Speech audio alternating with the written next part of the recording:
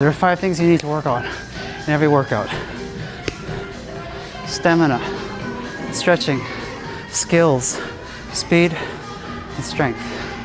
Okay? Stamina, being able to run long distances, for example.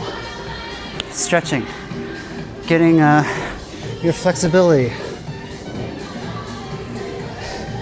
Okay? Go further, get more flexible. Can you touch your toes? Can you get your elbows to the ground? Can you do a Cossack squat? Side to side. With ease. Stretching. Skills. Skills like being able to do like something like this. Handstand. Whatever it is that you want to work on. A skill. Okay? Next, speed. Speed like battle ropes, sprinting, speed, throwing a faster punch, throwing the ball faster, beating your opponent with speed. And then finally, strength.